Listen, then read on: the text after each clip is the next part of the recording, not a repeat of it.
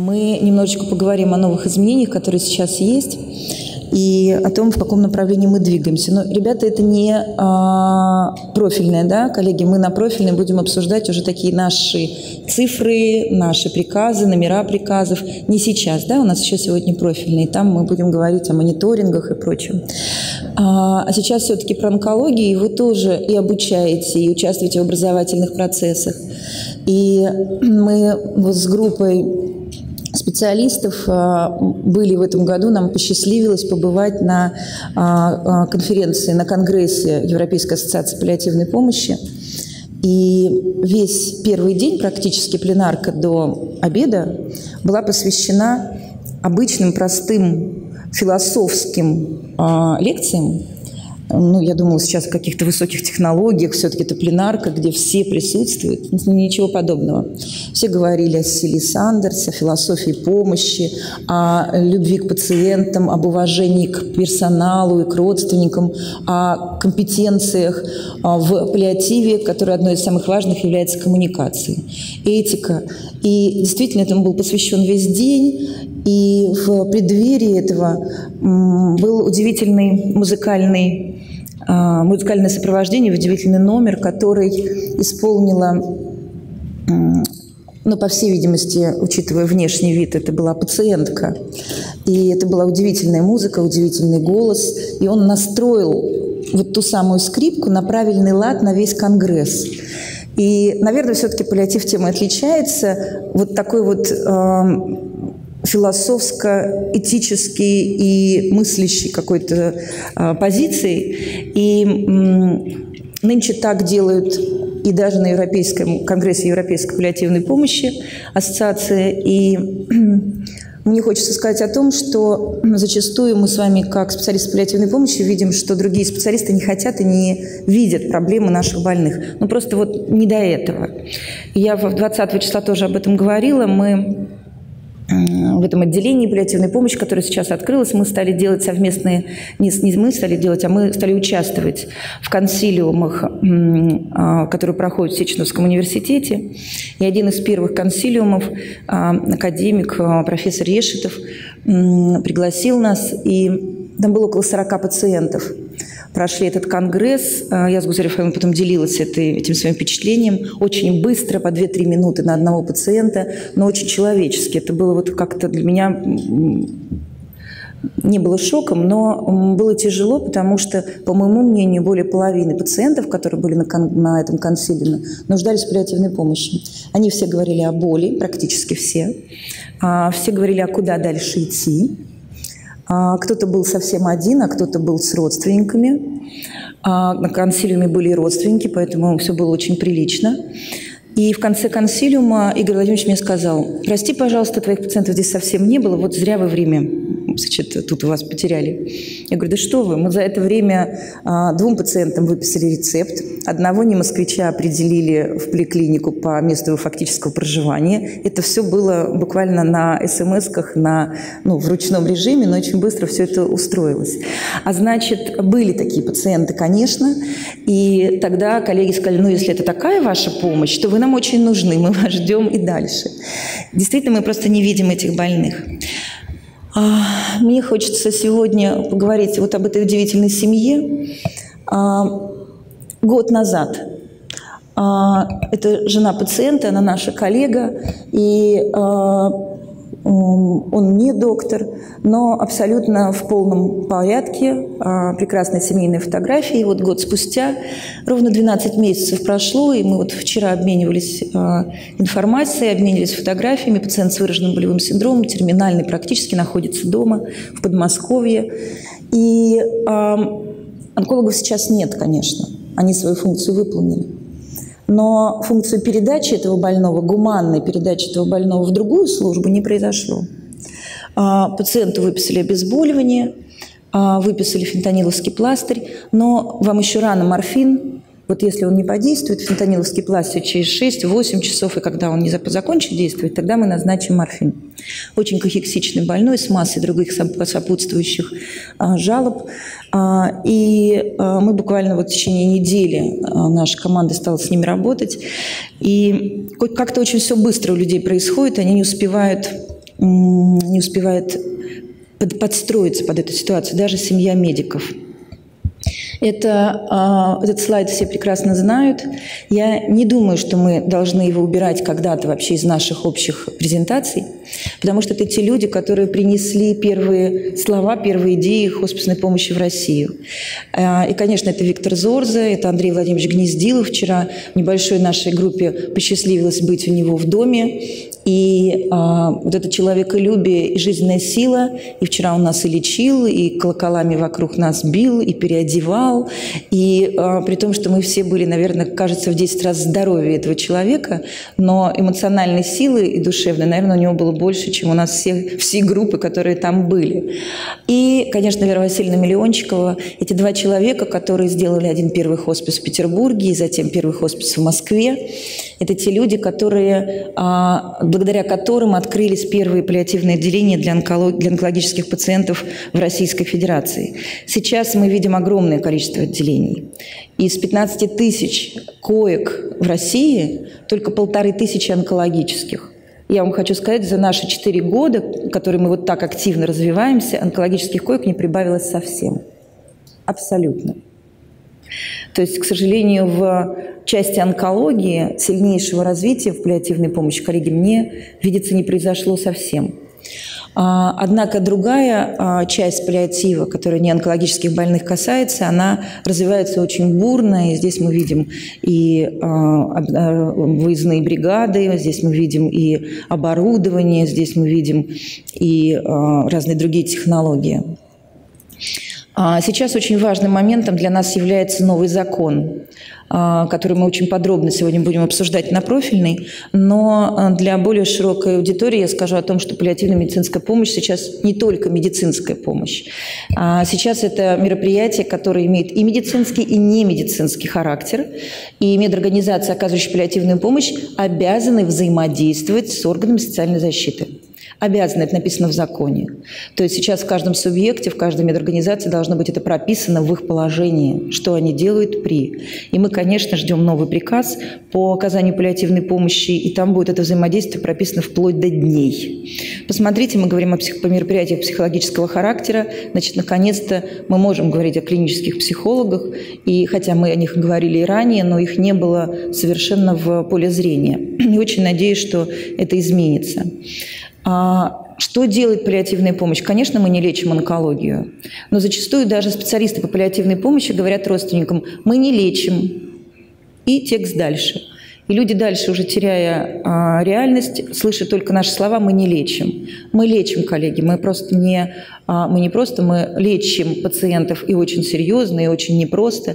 Мы не а, онкологи, мы не занимаемся, даже если у нас сертификат по онкологии, мы не занимаемся излечением от онкологического заболевания. И прошу вас еще раз на это обратить внимание. Даже серьезных, продвинутых пользователей, так скажем, даже специалистов паллиативной помощи, эти фразы, они бывают, и они очень сильно ломают сознание людей. Мы а, должны, наша цель в онкологии, проникнуть на эти консилиумы, мы должны проникнуть в сознание а, онкологов в онкодиспансерах и а, выступать с инициативой и выписывания рецептов, и выдачи препаратов, и взаимодействия, передачи, и участие в консилиум, даже если мы сторонние сотрудники, если мы не, даже не совместители, участие в консилиуме хотя бы раз в неделю для того, чтобы направлять этих пациентов в нужном направлении. А вообще, конечно, тот самый кабинет по факту паллиативной помощи, который создан а, в Институте онкологическом Петрова, это, конечно, один из самых таких а, правильных моделей, или как вот в Институте Герцена Гузель Рафаиловны. А, Качество жизни – это основная наша цель. Основная наша цель, чтобы мы не говорили, это качество жизни. Мы сейчас не можем говорить про излечение, но мы говорим про улучшение качества жизни, про комплайентность к правильному лечению и к уходу за пациентами. я сейчас покажу вам удивительные слайды. Посмотрите, это результаты 10 рандомизированных исследований, в шести из них подтвердилось улучшение выживаемости на фоне а, раннего начала паллиативной помощи. То есть не тогда, когда пациентов передают уже в хоспис, и мы даже его уже внешне не знаем, и семьи мы не успеваем познакомиться, а тогда, когда то, что делает Институт Петрова, например, или Институт Герцена, то есть тогда, когда пациент еще лечится, а, присоединяются те аспекты паллиативной помощи, за которые мы ответственны. Посмотрите, а, ведь это серьезные результаты улучшения выживаемости.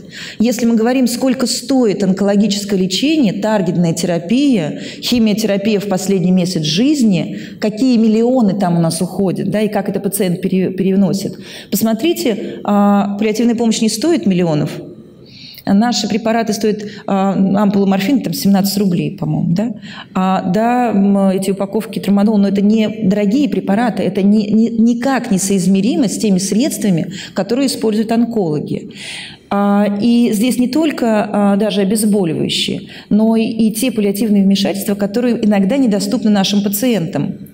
Своевременное переливание крови, правильная установка, э, правильное питание, избегание зондов и в нужном случае наложение гастростом, лучевая терапия при метастазах э, в позвоночник, а, правильное своевременное это, стентирование, декомпрессия, я не знаю, спинного мозга сказал, да, головного мозга.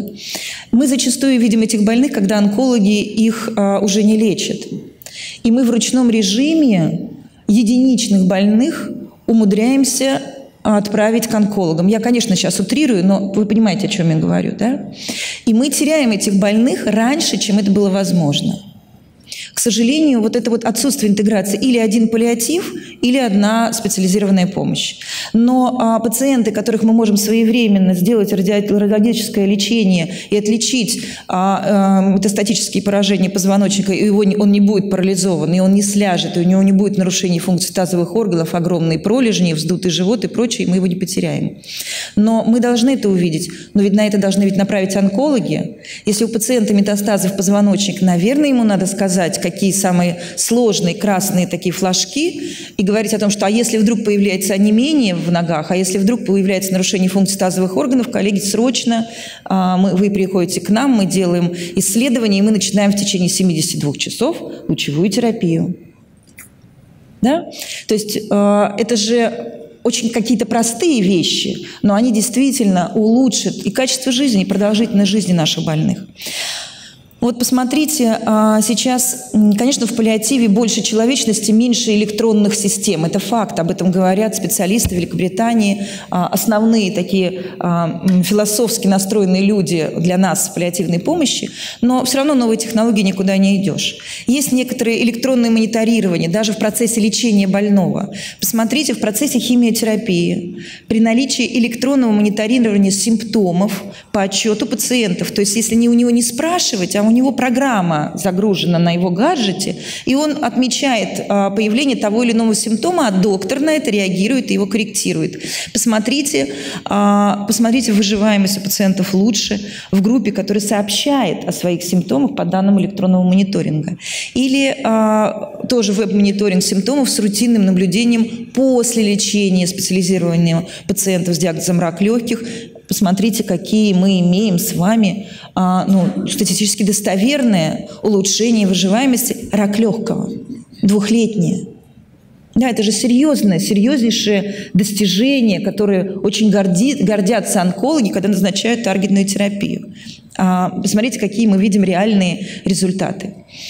А, это исследование все прекрасно знают. Это исследование тоже на пациентах с диагнозом рак легких его все показывают, но а, я хочу сказать, это показало о том, что м, много других исследований, которые говорят и имеют именно такие же результаты. И э, это старый слайд из Белой книги Всемирной организации здравоохранения, вот он наверху. Это о том, что специализированное лечение и хоспис. Ну, я все время говорю, что, наверное, уже это э, уменьшилось, легла немножечко эта вертикальная прямая, но, к сожалению, э, не очень она легла. Она все-таки пока вот так вот держит четкую вертикальную позицию. И я показывала это в прошлом году, 2017 год, э, исследование у пациентов с диагнозом рак легких конца жизни – это канадское исследование, которое анализировало в разных штатах а, пациентов, а, прошедших от лечения от онкологии. А, посмотрите, некоторые специалисты говорят о том, что они не видят разницы между поддерживающей и паллиативной помощью. Это говорят специалисты паллиативной помощи в онкологических институтах. Эти больные настолько интегрируются и в паллиатив, но посмотрите, реабилитация и помощь паллиативная, она одинаково должна пациентам оказываться с начала лечения. Но если пациент излечивается и вступает в ремиссию, да, то ему проходит реабилитацию, он уходит в обычную жизнь. А если пациент ухудшается и, к сожалению, лечение неэффективно, то а, далее, дальше помощь в конце жизни. Вот она, частично хосписная помощь. Да, и вот она, вся паллиативная помощь, которая, к сожалению, вот в это, этот ромбик, он не очень доступен нашим больным. А, мы все спорим, сколько пациентов, даже сейчас не буду на этом останавливаться. Это несколько слов о том, как мы сейчас видим паллиативную помощь, а, как первичную и специализированную. На профильном это будем очень подробно обсуждать, но специализированную, вот она наверху колпачок, все остальное – это первичка. И это работа также онкологов. А, этот слайд сегодня будет на профильный, я не буду на нем останавливаться. Чем мы можем помочь для онкологов? Какие у нас аргументы? Они понятны. Они понятны, когда мы говорим о словах, но более понятны, когда мы показываем исследования. Конечно, улучшение качества жизни. Менее агрессивное лечение в конце жизни, наверное, это самый а, важный и для онкологов в том числе пункт, когда и они не истощают свои и финансовые, и эмоциональные, и физические, и а, коечные запасы, да, и пациенту это более выгодно. Мы часто а, и снижает стоимость. Мы часто предлагаем то лечение, которое пациенту уже не важно.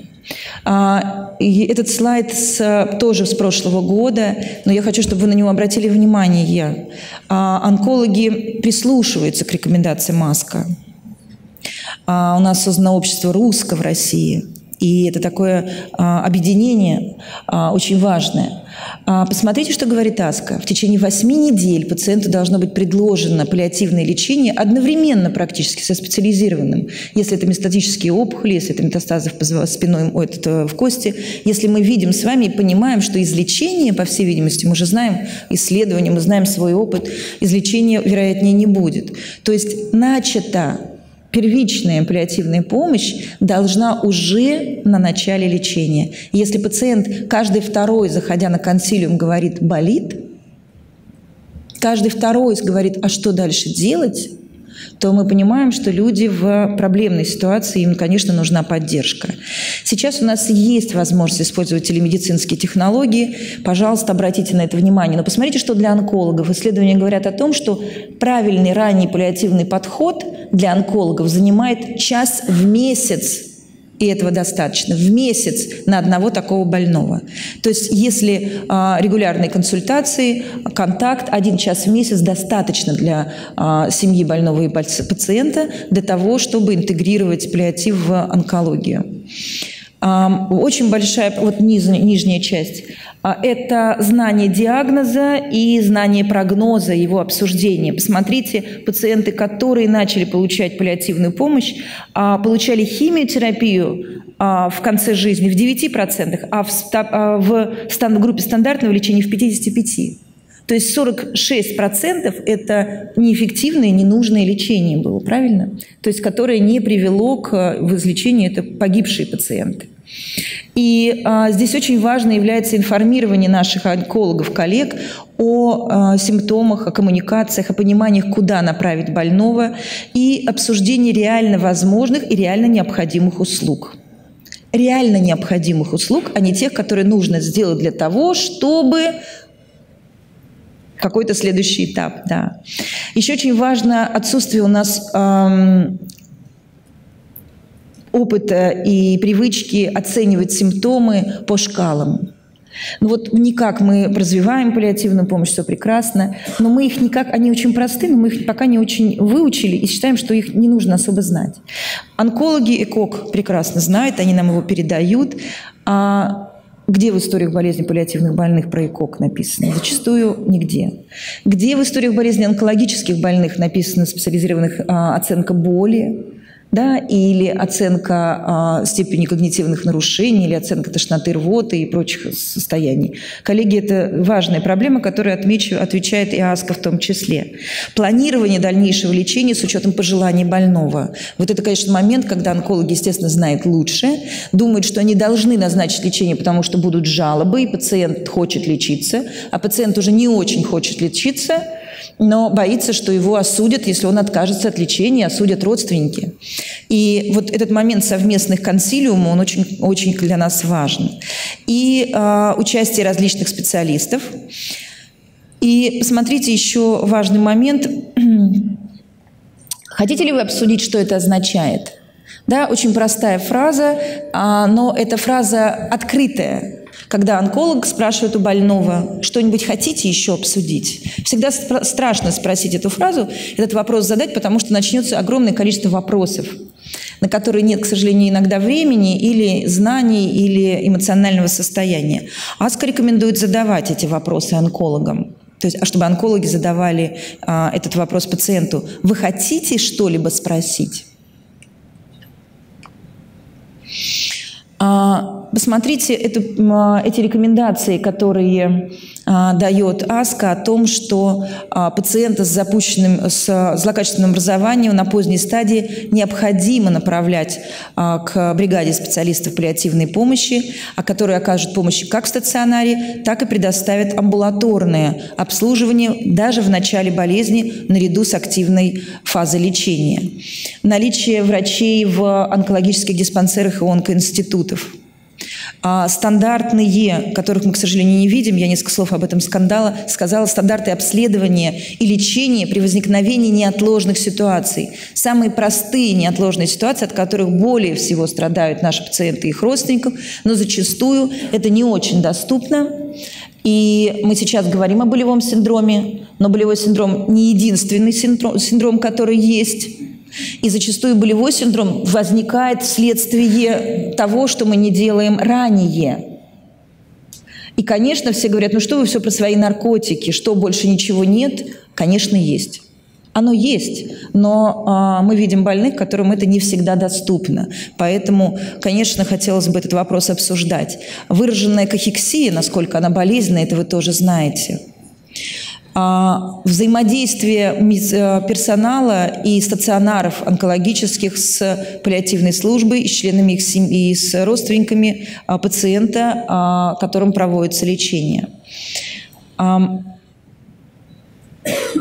Посмотрите, обсуждаются ведь и телемедицинские консультации. Консультации, мы говорили, специалистов, не работающих в этой больнице, да, и, но и телемедицинское консультирование. И сейчас это прописано и в паллиативной помощи. Я понимаю, что там много э, сложностей, много проблем, которые не описаны еще, да, но мы можем начинать с этим работать. А, любого пациента, который имеет злокачественную солидную опухоль четвертой стадии, который имеет рак легкого или рак поджелудочной железы, уже может быть планово отправлен а, к специалистам по паллиативной помощи. В новом положении у нас прописывается критерий отнесения. Мы наконец-то а, это дождались. Критерии отнесения к нуждающимся в паллиативной помощи, общие и специализированные, они будут в новом положении. Сейчас документ отправлен в Минюст. Это те вопросы, которые мы задавали. И, коллеги, мне хотелось бы в завершении сказать о том, что все-таки с онкологией, что мы не сделали серьезных шагов. Мы не выписываем рецепты больных при выписке из стационара. Мы не всегда и не делаем, мы не выдаем им рецептов. Мы а, не взаимодействуем и не передаем больных в социальные службы. Мы не имеем в онкологических стационарах современных средств обезболивающих. В паллиативных службах они уже есть. В аптеках они уже есть, но в онкодиспансерах, в онкоинститутах их нет. Даже в самых ведущих мы недавно консультировали пациента из института Блохина, например, и а, в институте есть пластырь обезболивающий, инъекционного ничего нет. Есть а, трамадол, есть промедол. Да? А, а таблетированный трамадол, таблетированного трамадола нет. Да, то есть мы имеем какие-то скоропомощные вещи, а для планового неинвазивного лечения препараты у кого что, кто к чему привык, кто что, запла- кто что запла- запланировал и заказал. К сожалению, а, мы все работаем с вами на вот этой доступности всех лекарственных препаратов, и в зале, конечно, главные специалисты, которые уже умеют работать с разными лекарственными средствами. Ну, сейчас скажи, уберем один, другой, третий, да, уже без них как-то невозможно. Мы уже знаем, где место каждого препарата. А, но этому надо, конечно, на научиться. Отсутствие а, клинических психологов и подготовки и обсуждения, а, и в том числе медицинского и среднего медицинского персонала, умение коммуницировать и общаться с больными и их родственниками. Коллеги, а еще поддержка семей умерших пациентов в период утраты. Сейчас это в ПГГ даже написано, программа госгарантии. Написано о том, что а, в случае обращения мы должны а, поддержать пациента даже после утраты больных. И отсутствие налаженного взаимодействия с благотворительными, волонтерскими организациями, как бы было хорошо, если бы этих больных мы видели и имели в, даже в онкологических учреждениях таких помощников. Но здесь и дети, и взрослые есть, и это наш ежедневный наш ежедневный труд. И, конечно, боль – это самая распространенная причина, которую мы зачастую нас вызывают, потому что здесь уже не могут справиться. И эти препараты не купишь без рецепта, если мы говорим про наркотики. Хотя пациентов, конечно, нужно и важно обезболивать правильными, не наркотическими препаратами. Просто это делают еще до паллиативной, паллиативного этапа, поэтому мы много говорим о наркотиках, потому что их, э, это контролируемые препараты. А, я предлагаю и приглашаю вас к участию в конференции нашей ежегодной. В этом году она будет 30-31 октября а, в Москве, в Сеченовском университете. А, она будет пятая. И мы будем обсуждать вопросы паллиативной помощи взрослому населению и детям. У нас будет много мастер-классов, как всегда это и происходит. я очень надеюсь, что мы много что узнаем и повзаимодействуем, пообщаемся и а, прекрасно профессионально проведем время. Спасибо вам огромное, уважаемые коллеги. Я дальше передаю слово Газарифаевне. Спасибо.